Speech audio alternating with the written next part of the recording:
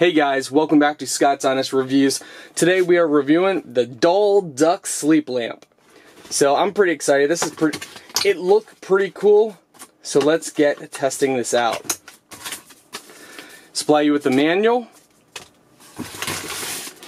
and the duck. If it looks like a duck and quacks like a duck, well, it has to be a duck. so this is pretty cool.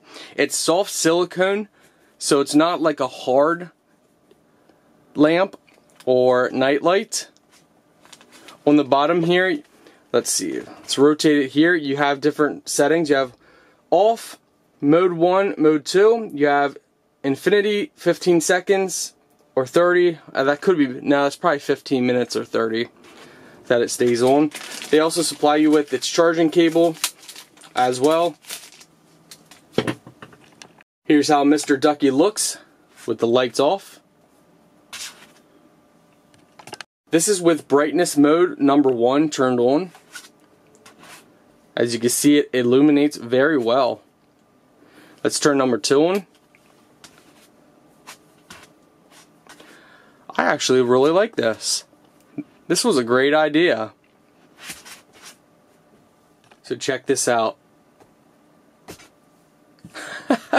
Is that not awesome?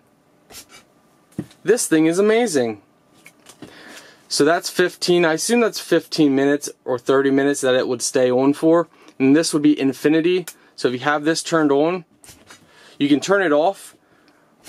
But if you turn it on like that, it will stay on for a long period of time. Well, forever until it would run out.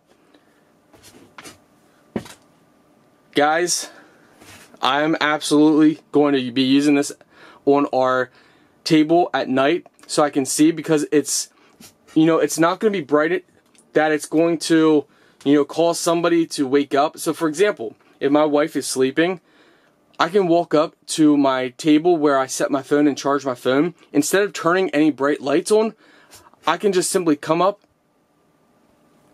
and tap it. Just like that. Alright, so we got little ducky right on our night table. Press him, he'll turn on. Allow me to plug my phone in and not bother my wife.